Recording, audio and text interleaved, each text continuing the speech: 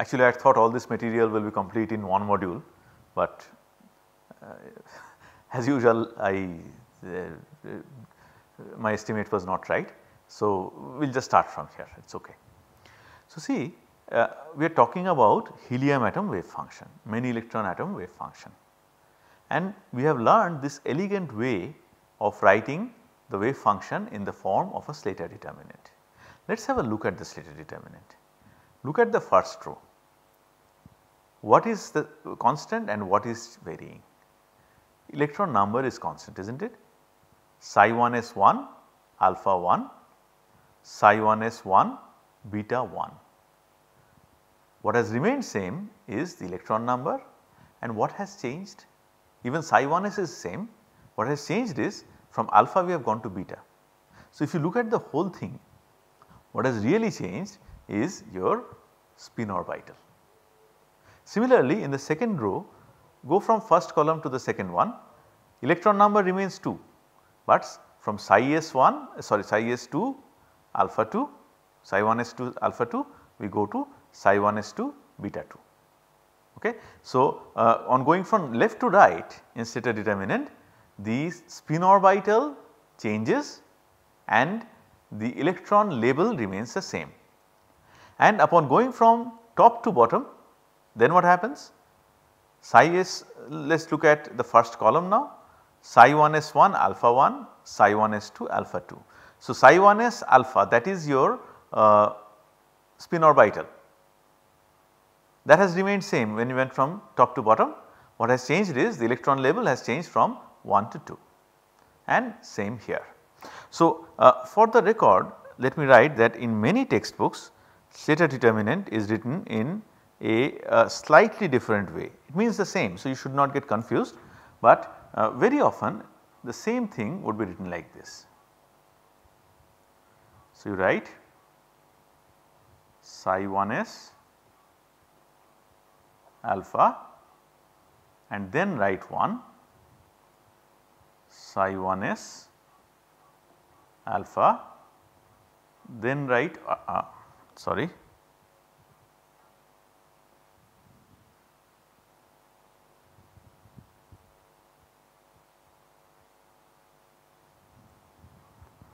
psi 1 s alpha 2 and this one is psi 1 s beta 1 this is psi 1 s beta 2. This is another way of writing the same thing matter of convention nothing else. Please do not get confused if you read a textbook that uses uh, this kind of notation instead of this. As you can see they mean exactly the same. But in one way the second way of writing is better because here it is very clear psi 1s alpha, psi 1s alpha same uh, spin orbital you have changed from 1 to 2. Here also psi 1s beta, psi 1s beta you only change from 1 to 2 and go from left to right 1 is same psi 1s alpha has become psi 1s beta. So, maybe this is actually easier to read, but we are going to follow this convention for now. Right. What is the advantage of writing the wave function all of a sudden in terms of a determinant? First of all as we are going to say very soon uh, eventually when you talk about complex systems atoms or molecules you have to use computers. Okay. Computational chemistry is a very very big field nowadays not nowadays I mean it has been a very very big field for several decades now because you cannot do all this calculation by hand. Okay. You want to find energy Right now we are working within the ambit of orbital approximation as you will see uh, there are ways to uh, actually generate these wave functions without resorting to 1s 2s also. Then you might want to relate them that is a different issue. How do you do all that? All that is done using computer and computer can work only when you give it the input in a very nice manner or if you let it give, provide the outputs in nice organized manner. That is why matrices determinants these things come very handy because they are essentially uh, data arranged in array forms right. So, that is one thing. Second thing uh, very elegantly something nice comes out. If you go back to the properties of determinants in mathematics those of who us who has studied uh, determinants in mathematics would know that if you exchange 2 rows or 2 columns the determinant changes sign. Okay? Not very difficult to understand because determinant means uh, if you write uh, A, B, C, D it is AD minus BC. You just interchange it is going to change sign obviously. Let us say I am talking about this determinant A, B, C, D. This is well forgive me for writing dA I am feeling lazy and do not want to erase dA AD are the same minus BC. Now suppose I just interchange the two rows then what happens? You write CD the first row AB in the second row. What do you get? BC minus since I have written dA there I will write dA. You see what happened? If you call this d1 and you call this d2 then obviously d2 is equal to minus d1. Satisfy yourselves by uh, interchanging two columns that the same thing happens once again. So, exchange of two rows or two columns leads to change in sign of determinant. So, what? Which means that they are antisymmetric. Now we are talking. Remember our total wave function has to be antisymmetric. Okay? So, in any case uh, in whichever form we write it would we have we are working with wave functions, but now uh, by property of determinants you are always going to get antisymmetric functions. So, you cannot make a mistake while writing it. By mistake I write plus 1 here the determinant will not be the same right you cannot write the determinant that way. So, that is where we will understand that we have made a mistake right. So, or, since the determinants change sign upon exchange of 2 rows and or 2 columns when you write the wave function in the determinant form you are assured that you have written an antisymmetric wave function you do not have to worry. Okay. Another property is if any two rows are the same or any two columns are the same then the determinant becomes 0. Once again since we have promised some of students to do things from scratch by and large we will do it.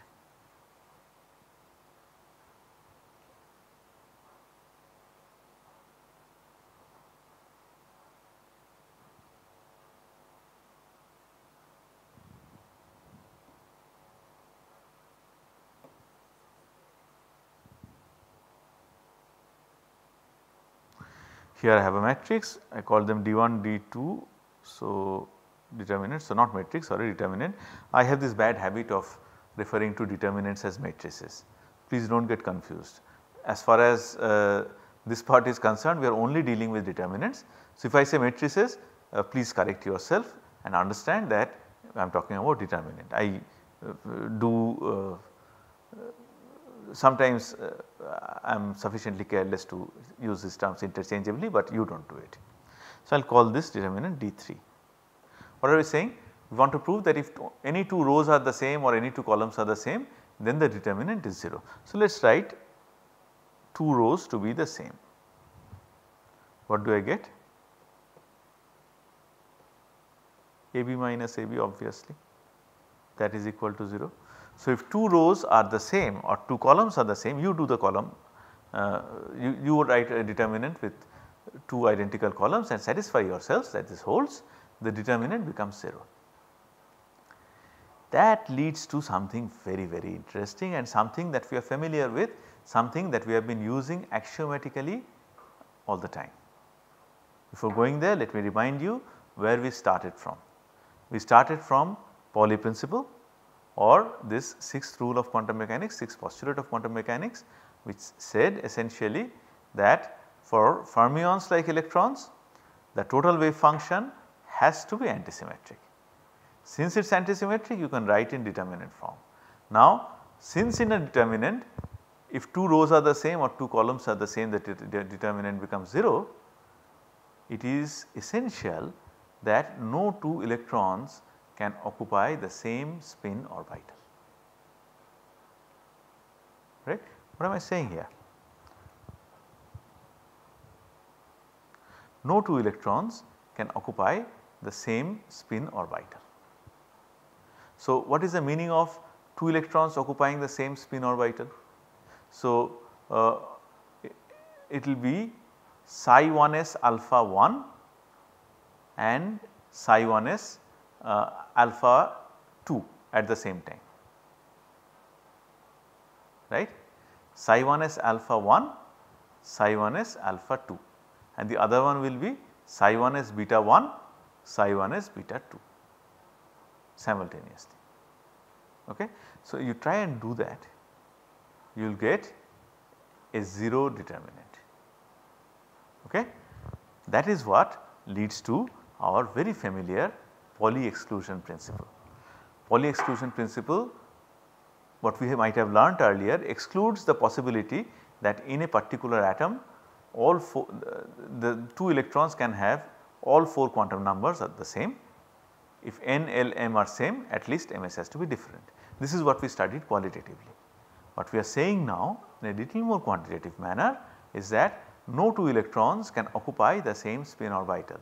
If electron number 1 occupies uh, psi 1s alpha spin orbital then electron number 2 must necessarily occupy psi 1s beta. Otherwise you get a 0 determinant which means the wave function is 0. If wave function is 0 then probability density and therefore probability of finding the electron anywhere is 0 and then what are we talking about? Yeah. So, very beautifully using this concept of Slater determinants we arrive at Pauli exclusion principle.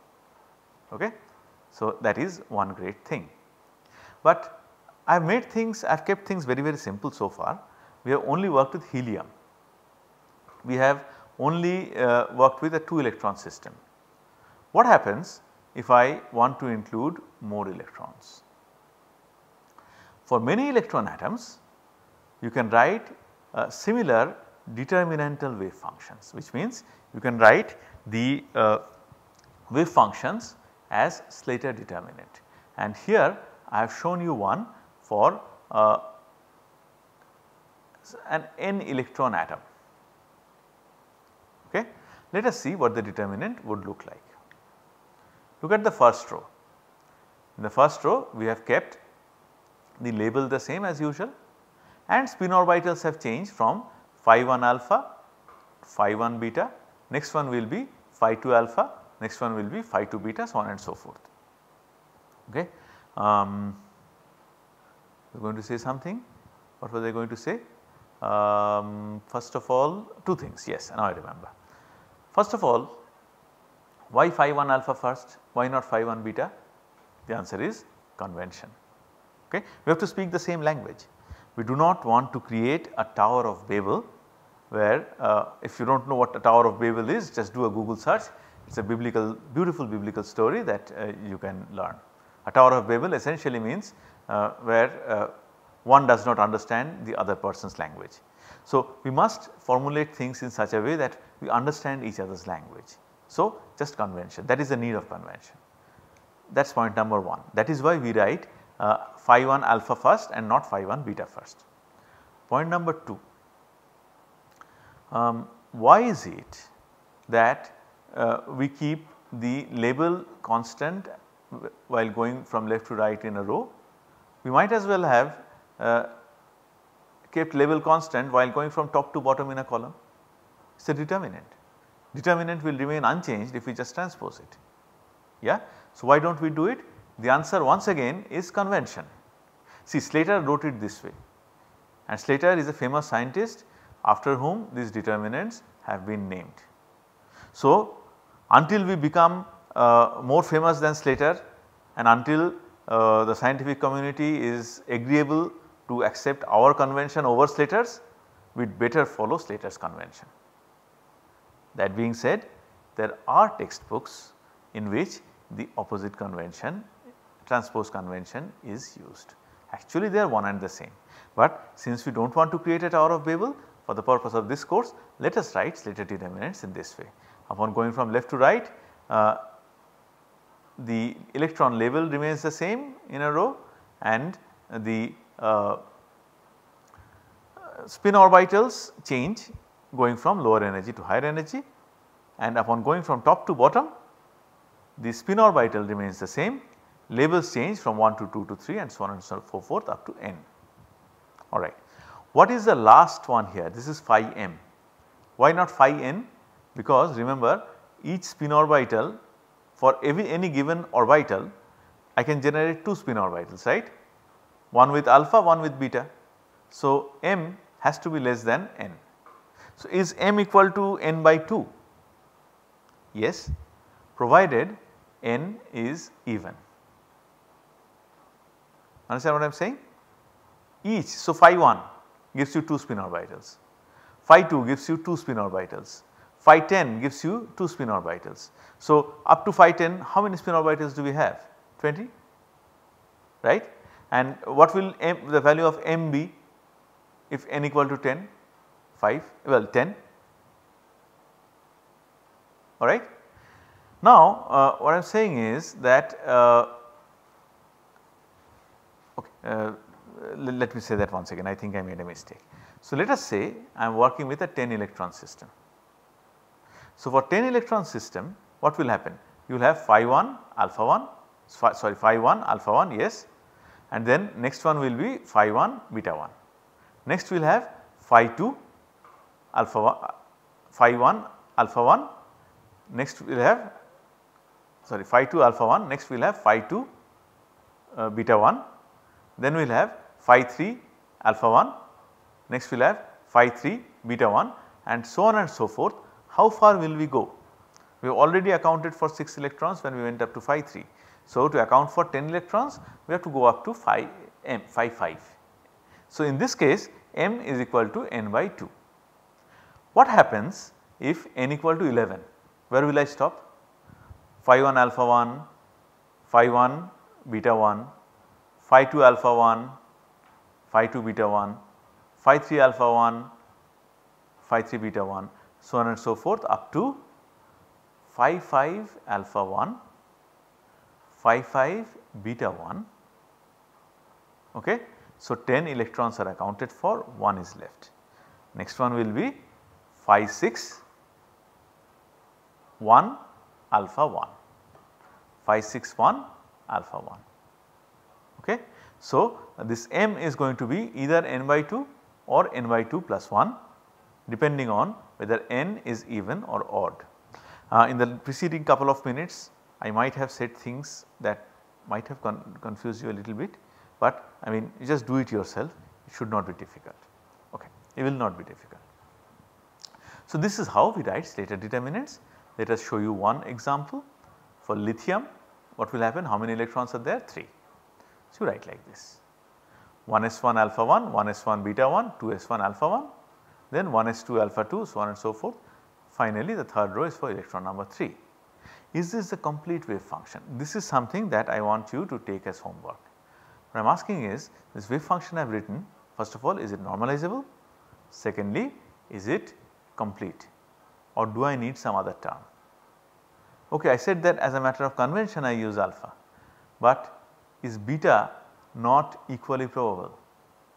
How do I incorporate that? Is there a need to incorporate that? These are things that I would like you to work out by yourself. But to conclude this part of the discussion, this is what we have learned that uh, you can write it in determinantal form. Any two uh, rows or columns same then the determinant would become 0. Once again I would like you to take this as homework. Uh, set one of these two I mean what I am saying is put electron number 3 in 1s orbital. Then what happens? Then this becomes uh, electron number 3 in 1s orbital. So, uh, this 2s will be replaced by 1s everywhere. Then what happens? The first row and the third row they became one and the same. What I am saying is the third electron actually when I say electron number 3 that can be a little confusing for you uh, because you might think that I am talking about the level, I am not talking about the level, I am saying the third electron okay in whichever way we have filled in 1 2 3, 3 2 1, uh, 2 1 3 whatever. What I am saying is uh, let us say that the third electron also goes to 1s. Then uh, this last row is going to become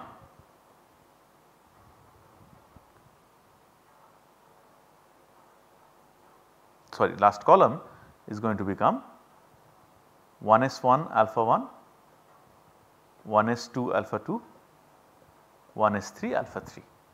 Okay. Now what has happened? This 1s1 alpha 1, 1s2 alpha 2, 1s3 alpha 3 is exactly the same as the uh, first column. So, the two columns are same therefore, the determinant is 0. So, here we have shown that even for lithium uh, Pauli exclusion principle follows very nicely from uh, this sixth postulate of quantum mechanics. So, we have learned Slater determinant and we have learned how to express the uh, wave function of the ground state of helium and lithium using Slater determinants. In the next module we want to see whether we can extend this discussion to excited states of these atoms.